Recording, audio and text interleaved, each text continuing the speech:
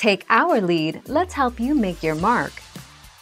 Our goal is your satisfaction. Let us show you the way. The best possible solution to hide your browser history from an ISP. Use Tor. Ensure utmost online privacy. Use a HTTPS connection. Conduct transactions securely. Use a VPN. Browse without leaving a digital footprint. Switch to another ISP. Opt for a reliable ISP.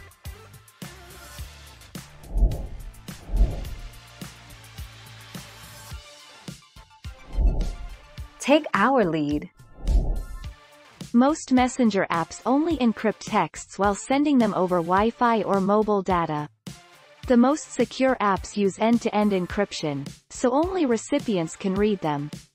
Being on Wi-Fi does not automatically guarantee a text is transmitted or stored encrypted.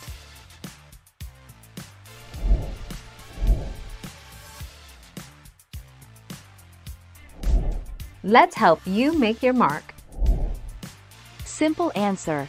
No, a person cannot see what is on your phone, but can see what you are sending and receiving in the clear. There are a few situations. In general there is one rule, at any point there will always be someone able to see what you are sending or receiving.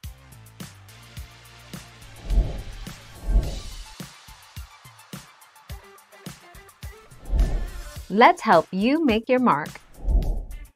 If you want the short answer, it's a no because the search history doesn't show up on the internet bill. However, even if the search history appears on the bills, it will be too generic.